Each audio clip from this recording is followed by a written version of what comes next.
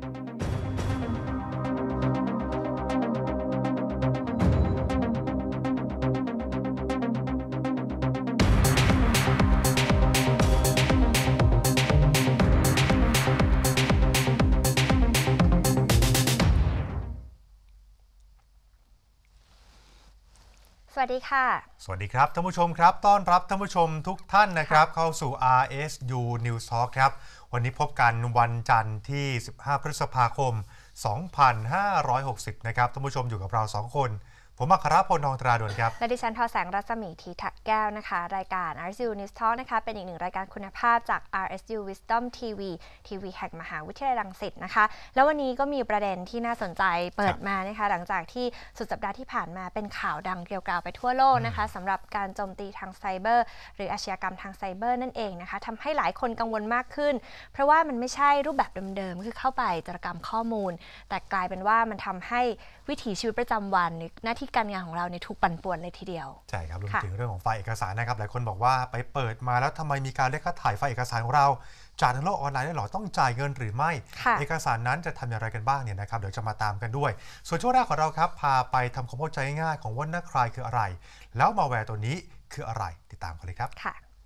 สวัสดีครับทุกคนคำว่า ransomware อาจเป็นคำที่เราไม่ค่อยได้ยินกันบ่อยนัก แต่ที่จริงแล้ว ransomware นั้นก็คือ malware ชนิดหนึ่งนั่นเอง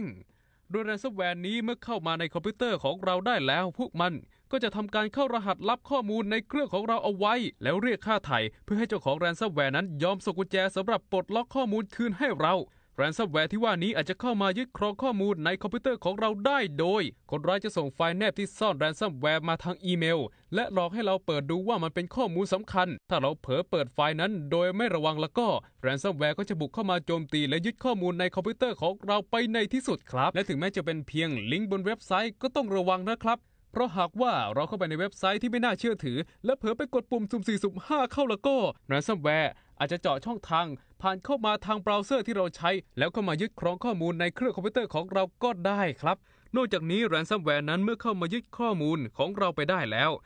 ก็ยากยิ่งที่เราจะหาวิธีการจัดการกับพวกมันได้ แม้แต่การยอมจ่ายเงินให้กับคนร้ายที่ส่ง ransomware มาก็ไม่ได้หมายความว่า เราจะได้รับกุญแจสำหรับปลดล็อกข้อมูล ให้คืนกลับมาได้จริง ๆ ransomware จึงเป็นมาแวร์ชนิดหนึ่งที่อันตรายมาก โดยเฉพาะกับคนที่เก็บข้อมูลสำคัญต่างๆ เอาไว้ในเครื่องคอมพิวเตอร์ โดยไม่มีการสำรองข้อมูลสำคัญนั้นไว้ที่อื่นครับ ถ้าอย่างนั้นคราวนี้เรามาดูกันดีกว่านะครับว่าเราจะป้องกัน ransomware พวกนี้ได้อย่างไรบ้าง 1. มีด่านป้องกันโดยติดตั้ง และอัปเดตแอนตี้ไวรัสอยู่เสมอ เสริมสร้างพลังป้องกัน 2. มีด่านป้องกันชั้นที่ 2 โดยอัปเดตระบบปฏิบัติการและซอฟต์แวร์ 3. หยุดการ install ซอฟต์แวร์แอปพลิเคชันที่ไม่รู้จักหรือต้องสงสัย 4. ไม่คลิกลิงก์หรือเปิดไฟล์ในอีเมลที่น่าสงสัย ถ้าไม่ไว้ใจ ควรถามกลับไปยังผู้ส่งอีเมลโดยตรง โดยควรสอบถามไปทางโทรศัพท์ หรือแฟกซ์แทนการส่งอีเมลกลับไป หรือสอบถามไปที่ ThaiCERT 5. backup ข้อมูลอยู่เสมอ และควรเก็บข้อมูล backup เหล่านั้นไว้ในอุปกรณ์ที่ไม่ได้เชื่อมต่อกับคอมพิวเตอร์ หรือระบบเครือข่ายอื่น ๆ และหากเราตกเป็นเหยื่อของ ransomware แล้ว ขอให้แจ้งไปที่ ThaiCERT โดยทันทีนะครับ เพื่อ ThaiCERT จะได้ช่วยวิเคราะห์และสืบหาว่าพวกมันมีช่องทางการเผยแพร่มาจากที่ใด และดำเนินการจัดการกับระบบ หรือเว็บไซต์ที่เกี่ยวข้องกับ ransomware ตัวนั้น รวมถึงจะได้ประกาศแจ้งเตือน เพื่อไม่ให้คนอื่นๆ ต้องตกเป็นเหยื่อของ ransomware ตัวดังกล่าว หากทุกๆ คนช่วยกันป้องกันระวังตัวเองก่อนจะเปิดอีเมลหรือเว็บไซต์ และช่วยรายงานแรนซัมแวร์ที่พบไปยัง ThaiCERT เท่านี้ก็จะสามารถช่วยลดความเสี่ยง และความเสียหายจากแรนซัมแวร์ที่จะมายึดข้อมูลของพวกเราไปแล้วล่ะ ค่ะคุณผู้ชมค่ะนั่นก็เป็นคลิปวิดีโอนะคะ ที่ทำให้เรารู้จักกับเจ้าอาชญากรทางไซเบอร์นะคะ ตัวนี้มากยิ่งขึ้นหลายคนรู้สึกตกใจแล้วก็กังวลมากขึ้นค่ะ เพราะว่าน่าจะเกี่ยวข้องกับเราได้โดยตรงได้ง่ายมากเหลือเกินนะคะ อย่างที่ทิ้งท้ายกันไว้เมื่อสักครู่นี้นะคะ ว่ามีข้อสังเกตก็คือ ก่อนที่จะเปิดไฟล์อะไรก็ตามเนี่ยดูดีๆนะคะ ว่านามสกุลของไฟล์นั้น มันแปลกไปจากที่เราเคยรู้จักหรือเปล่าค่ะ แต่ผู้ที่จะมาให้ความกระจ่างในเรื่องนี้กับเรานะคะ ตลอดจนการเรียนการสอนของมหาวิทยาลัยรังสิตนะคะที่จะช่วยให้ความรู้กับคนรุ่นใหม่ในการป้องกันเรื่องราวแบบนี้ได้อย่างไรนะคะ วันนี้เราได้รับเกียรติจากผู้ช่วยศาสตราจารย์ ดรเชษฐเนติศรีสะอ้านค่ะ ท่านเป็นคณะบดีวิทยาลัยเทคโนโลยีสารสนเทศและการสื่อสาร มหาวิทยาลัยรังสิตอยู่กับเราแล้วค่ะ สวัสดีค่ะอาจารย์สวัสดีครับอาจารย์ครับ วันนี้ถึงขั้นต้องรีบเชิญอาจารย์มาเลยนะคะ เพราะว่าครัเขาบตื่นเต้นตื่นตัวกันไปทั่วโลกเลย ใช่ จริงๆแล้วตัวนี้อะเจ้าไวรัสตัวนี้ถือว่าอันตรายมากขนาดไหนคะอาจารย์ ผมยังว่าน้ำจิ้มนะครับน้ำจิ้มยังเหรอคะยังมีอีกเยอะครับ แต่โดยหลักๆ ก็คือว่ามันเป็นจุดเริ่มต้นของเขาเรียกสงครามไซเบอร์ละค่ะครับ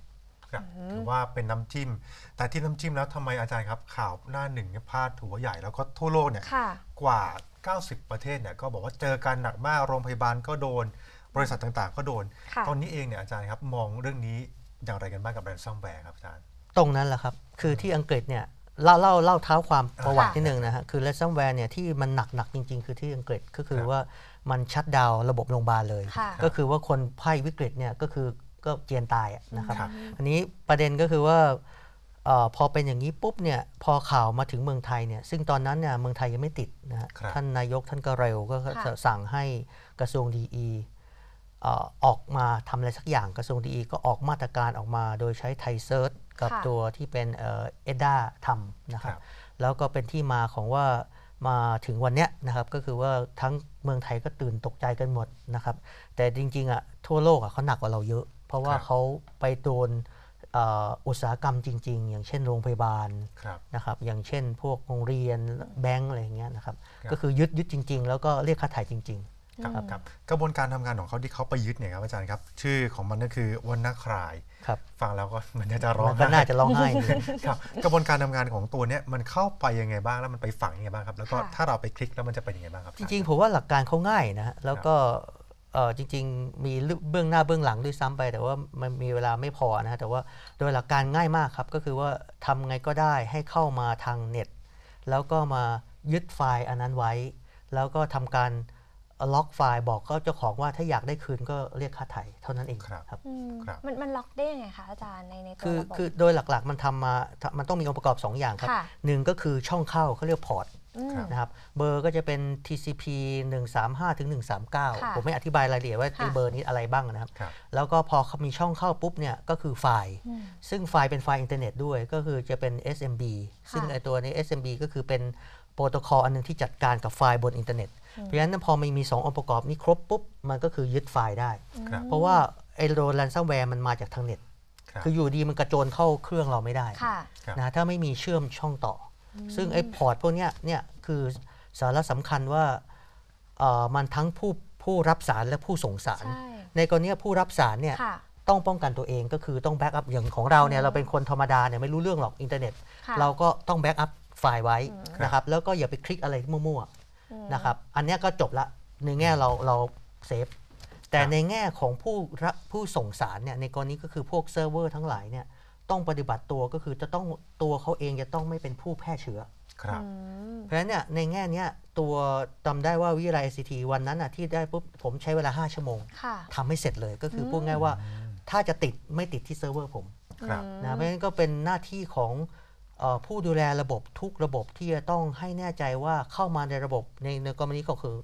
ISU เนี่ยครับค่ะเข้ามาแล้วจะไม่ติด ransomware จาก ISU จะไปติดที่อื่นก็ไม่รู้แหละ แต่ว่าอืมต้องไม่เป็นที่เราครับครับกระบวนการยึดไฟล์เนี่ยเขายึดไฟล์ประเภทไหนบ้างครับอาจารย์ครับหรือว่ายึดทั้งทุกเครื่องเลย ทุกอันครับทั้งเครื่องเลได้ยทได้ทุกอย่างแต่ทุกไปอย่างที่มันอ่านรู้เรื่อง แต่ว่ามันต้องเป็น Windows ครับเพราะเนื่องจากว่าผ่ไอตัวไฟล์ System ของ Windows เนี่ยมันเป็นไฟล์ System ที่พูดตรงๆ ก็คือว่า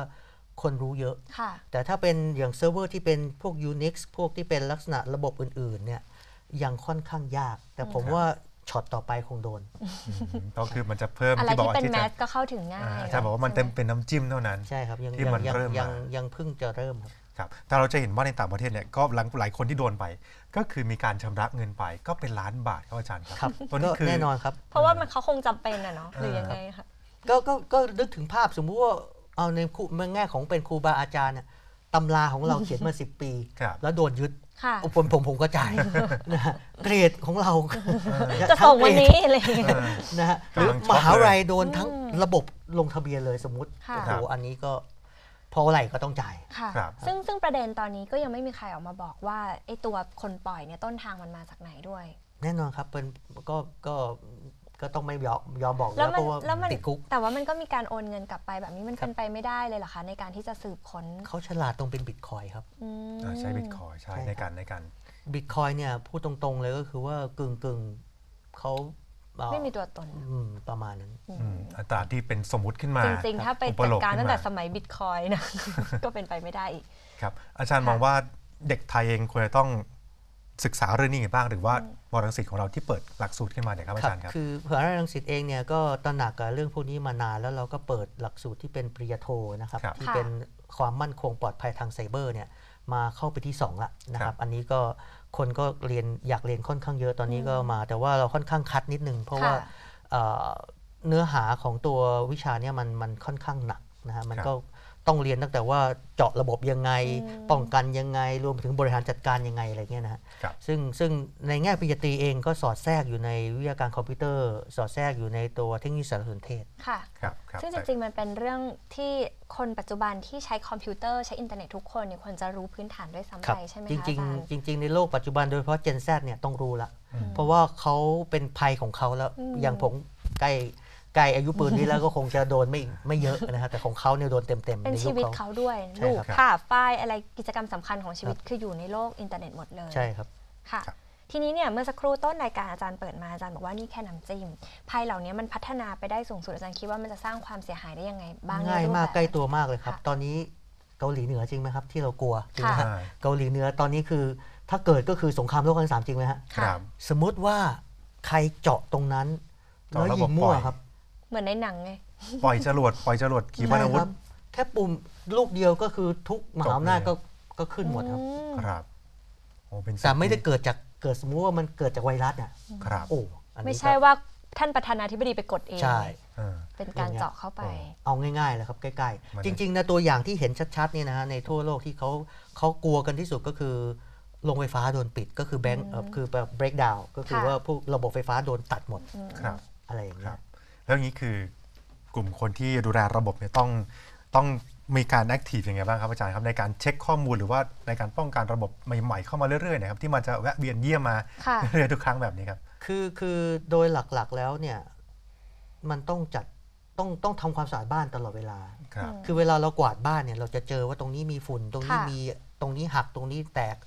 คือโดยหลักๆ แล้วคนที่เป็นแอดมินต้องเข้าไปดูว่าเอ้ยมันมีอะไรแปลกปลอมเข้ามาบ้าง มันมีอะไรที่มันต้องทำอะไรบ้าง โดยเฉพาะที่สิ่งที่เรียกว่าแพชจะสังเกตว่าคำแพชคำว่าแพชเนี่ยกลายเป็นดังไปเลย ก็คือแพชคืออะไรก็ตามที่จะต้องทำใหม่ๆ เพื่อให้มันดีขึ้นค่ะดังนั้นการอัปเดตแพชก็คือทำให้เซิร์ฟเวอร์เราเนี่ยบ้านเราเนี่ยมีความแข็งแรงมากขึ้น ค่ะ ซึ่งตรงเนี้ยเอ่อคนที่เป็นแอดมินอาจจะรู้ดีก็คือจะต้องปรับปรุงบ้านตัวเองเสมอๆครับครับครับ ทีนี้สำหรับคนที่เรียกว่าอาจจะเป็นผู้ใช้ทั่วไป คนที่ใช้คอมพิวเตอร์ทั่วไป แต่ว่าไม่ได้ไม่มีความรู้หรอก แต่จะสังเกตว่าคอมพิวเตอร์ส่วนใหญ่ของทุกคนหรือระบบ Windows หรือแม้กระทั่งในโทรศัพท์เนี่ยชอบให้อัปเดตอัปเดตโปรแกรม อัปเดตนู่น อัปเดตนี่ อันนี้คือสิ่งที่เราจำเป็นต้องทำไหมคะ หรือว่าอัปเดตไปอัปเดตมาโดนไวรัสไม่รู้ตัวจากแฮกเกอร์ก็จะสังเกตยังไงดี คือโดยหลักๆ แล้วเขาจะบังคับอัปเดตอยู่แล้วในค่ะตัว ซึ่งถ้าเกิดสมมุติเราไม่อัปเดตเอ่อ